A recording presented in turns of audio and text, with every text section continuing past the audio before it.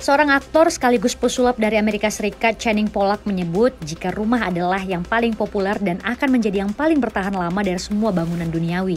Memiliki rumah juga kerap menjadi standar sukses bagi sebagian orang, sehingga tak heran jika kepemilikan rumah sering dikaitkan dengan status sosial dan harga diri seseorang.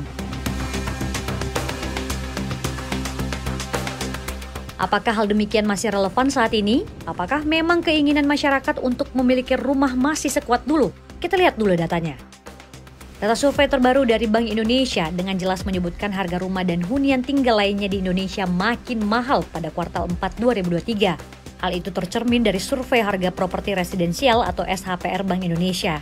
Harga properti residensial atau IHPR kuartal 4 2023 yang tumbuh 1,74 persen secara tahunan lebih rendah dibandingkan pertumbuhan kuartal 3 2023 yang sebesar 1,96 persen secara tahunan.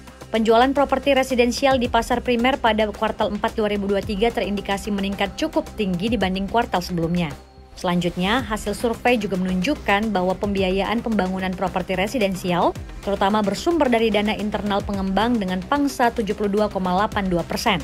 Sementara dari sisi konsumen, skema pembiayaan utama dalam pembelian rumah primer adalah kredit pemilikan rumah atau KPR dengan pangsa sebesar 75,89 persen dari total pembiayaan. KPR masih menjadi primadona pembiayaan perumahan. Tak dipungkiri karena KPR perbankan memiliki varian tenor yang panjang sehingga memungkinkan masyarakat bisa mencicil rumah dengan harga yang lebih ramah meski hingga berpuluh tahun. Demi mendorong milenial dan Gen Z bisa memiliki rumah pribadi, Kementerian PUPR berencana memberi sebuah terobosan, yakni dengan KPR 35 tahun.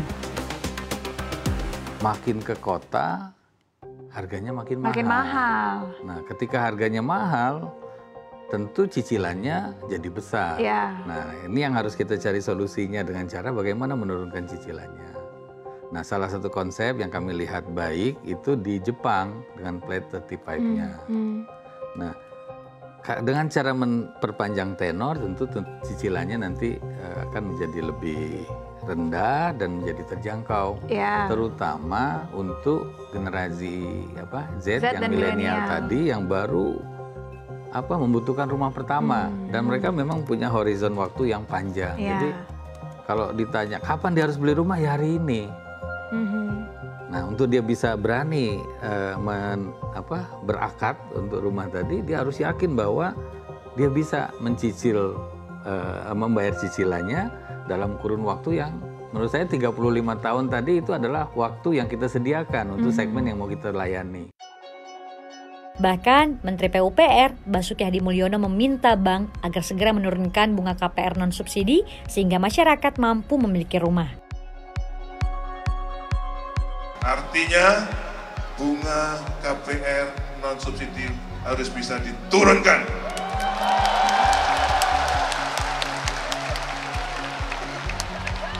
Kalau nggak bisa diturunkan, ngomong kosong untuk perubahan BTN.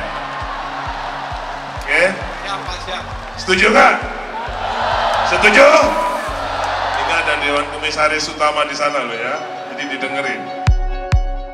Senada sirama dengan Kementerian PUPR, Menteri BUMN Erick Thohir menyebut memperpanjang jangka waktu KPR non-subsidi dari 20 tahun menjadi 30 tahun juga bisa menjadi salah satu solusi. Erick menjelaskan, Indonesia saat ini mengalami backlog atau kekurangan perumahan 12,7 juta rumah, sementara pembangunan unit rumah yang dilakukan saat ini hanya 600 ribu unit. Terlebih lagi, 52% persen penduduk Indonesia saat ini tinggal di perkotaan. Hal itu menjadi tantangan tersendiri bagi Gen Z dan milenial untuk mendapatkan rumah.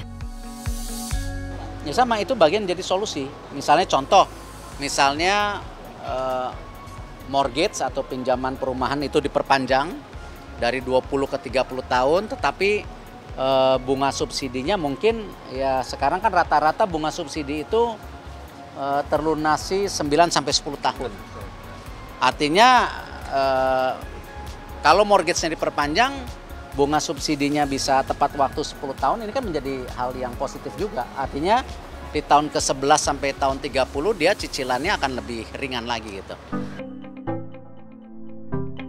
Berkurangnya lahan di perkotaan menjadi salah satu ancaman bagi Gen Z dan milenial tak bisa lagi bermukim di kota. Sementara itu, Chief Economist Bank Syariah Indonesia Banjaran Indra Suryastomo menyebut, jika kinerja pembiayaan perbankan terhadap kredit KPR pada kuartal 3 2023 lalu juga mengalami penurunan.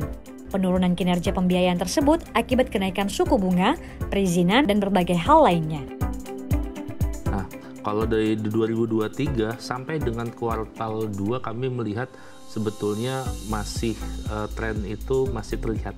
Memang tapi di kuartal 3 ini ada sedikit koreksi uh, di mana uh, tadi karena karena mungkin suku bunga, karena biaya-biaya lainnya, karena perizinan juga, akhirnya kami melihat dari sisi pembiayaan ini uh, ataupun booking outstanding maupun pembelian rumah ini ada penurunan sedikit. Nah ini yang mungkin yang kami lihat mengapa sebetulnya di akhir tahun kemarin akhirnya pemerintah menggulirkan insentif baru untuk mendorong bagaimana kredit ataupun pembiayaan di sektor kepemilikan rumah ini tetap masih terjaga untuk mendorong memastikan apalagi tadi disebutkan di awal bahwa uh, sektor ini salah satu sektor yang mem, mempekerjakan banyak orang kontribusinya positif terhadap perekonomian hampir 180-an uh, eh, industri terkait si ini memang kita bisa Menanggapi backlog yang masih berada di angka 12,7 juta, Bos Real Estate Indonesia Joko Suranto menyatakan pembiayaan KPR rumah masih terbatas pada sejumlah sektor, misalnya sektor formal. Sementara jumlah pekerja di sektor informal tak sedikit, di mana milenial dan Gen Z juga sudah pasti ada di dalamnya. Joko pun meminta agar ini menjadi perhatian bersama pemerintah ke depannya. Kita mau bahas detail, maka kita sebut angka 12,7 atau dari BPS Susenas uh, sudah bergerak menjadi 9,9 juta. Kita lihat dari profil backlog itu sendiri. Yang pertama dari profil uh, jenis pekerjaannya, kemudian jenis pendapatannya, kemudian bagaimana akses mereka kepada perbankan. Jenis pekerjaan yang ada di Indonesia ini kan ada tiga, formal, informal, yang ketiga adalah sektor profesional. Nah, yang formal, maka relatifly semua perbankan sudah memberikan akomodasi untuk akses perbankannya. Tetapi ketika sektor informal, maka ini OJK harus mau bekerja lah. Bagaimana mendorong perbankan ini untuk mempunyai kebijakan, mempunyai strategi, mempunyai keberpihakan kepada masyarakat sehingga sektor informal itu bisa mendapatkan akses ataupun memberikan, diberikan koridor bagaimana bisa mengakses untuk punya perumahan. Meski masih memiliki sedikit harapan untuk bisa memiliki rumah sendiri, namun tampaknya generasi ini enggan buru-buru. Karena ibu kota dan tempat lainnya juga masih memberi pilihan lain, seperti kos-kosan dan kontrakan yang dinilai lebih ramah di kantong. Kamu yang Gen Z dan milenial, makin ogah atau masih bercita-cita punya rumah sendiri? CNBC Indonesia Beyond Business.